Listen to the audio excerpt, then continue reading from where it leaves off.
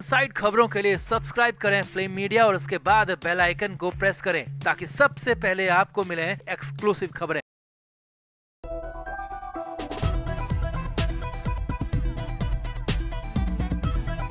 तो महाराष्ट्र में चुनाव करीब है और जैसे जैसे इलेक्शन पास आ रहे हैं, वैसे वैसे ही आरोप और प्रत्यारोप जमकर हो रहे हैं। शिंदे गुट, उद्धव गुट और बीजेपी में खूब तू तू मैं हो रही है। मगर इन सब के बीच पिस रहे हैं आदित्य ठाकरे। जी हाँ महाराष्ट्र की राजनीति में आदित्य ठाकरे पर हर किसी की नज़र है, हर कोई निशाना बना रहा है। और अब खबर आ रही है कि इन सबसे तंग आकर आदित्य ठाकरे गोवा चले गए हैं और वो भी बॉलीवुड की एक्ट्रेस के साथ। और इसकी पोल किसी और ने नहीं, बल्कि बीजेपी नेता नितेश राणे ने खोली है। अब इस खबर के लीक होने के बाद तो उद्धव ठाकरे और संजय राउत दोनों ही आग बबूला हो गए हैं। तो क्या है पूरी खबर? आखिर गोवा में क्या करने गए हैं आदित्य ठाकरे? आपको बताते हैं सब। आप भी वीडियो को शेयर करें और अपनी राय कमेंट बॉक्स में ज़रूर दें। तो आदित्य ठाकरे को मुंबई एयरपोर्ट पर स्पोर्ट किए जाने के बाद से कई सवाल सामने आ रहे थे कि आखिर कई केसेस में उलझे हुए आदित्य अचानक कहाँ गायब हो गए? फिर आदित्य गोवा एयरपोर्ट पर नज़र आए और इसके बाद और भी ज़्यादा हंगामा हो गया। महाराष्ट्र की राजनीति में तो मानो भूचाल सा आ गया। उद्धव ठाकरे की पार्टी में तो मानो हंगामा बरप गया। क्योंकि नीतीश राणे ने आदित्य ठाकरे की गोवा टूर को लेकर काफ़ी कुछ बड़ा खुलासा कर दिया। जी हाँ बीजेपी नेता और सुशांत सिंह राजपूत के केस के बाद लगातार आदित्य ठाकरे को निशाना बनाने वाले नितेश राणे ने प्रेस कॉन्फ्रेंस की और आदित्य ठाकरे के गोवा टूर को लेकर कहा कि आदित्य सबकी आँखों में धूल झोंक कर गोवा गए हैं। नितेश राणे ने कहा कि आदित्य ठाकरे अपनी पार्टी के सामने गोवा सिंधु दुर्ग के दौरे के नाम पर गए हैं। मगर आदित्य का गोवा जाने का मकसद चुनावी दौरा बिल्कुल भी नहीं है, बल्कि वो तो गोवा में रंग रलिया मनाने गए हैं। नितेश राणे ने साफ़ साफ़ शब्दों में कहा कि सिंधु दुर्ग दौरे से जुड़ी बैठ के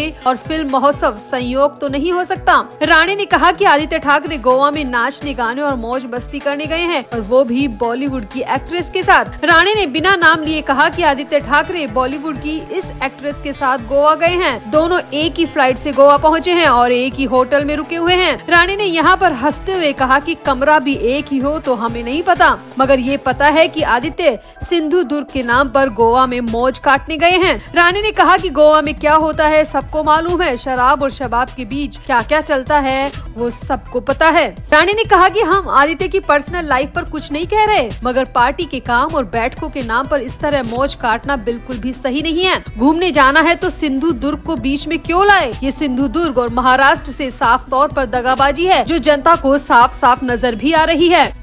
नीतीश राणी की माने तो आदित्य ठाकरे के यूँ गोवा जाने के बाद उनकी खुद की पार्टी में कलह मची हुई है। उनकी खुद की पार्टी के लोग सवाल खड़े कर रहे हैं और उद्धव ठाकरे और संजय राउत तो बुरी तरह भड़के हुए हैं, मगर आदित्य ठाकरे का लड़कपन जाने का नाम नहीं ले रहा। तो नीतीश राणे ने आदित्य ठाकरे पर खुलेआम मौज काटने और रंगरलियाँ मनाने के आरोप लगा दिए। और अब इन आरोपों पर आपका क्या कहना है? क्या आदित्य ठाकरे राजनीति के लायक नहीं है या फिर आदित्य की छवि को खराब करने के लिए अपोजिट पार्टियाँ ऐसे आरोप लगा रही हैं? आप भी अपनी राय कमेंट बॉक्स में ज़रूर दें और वीडियो को भी शेयर करें।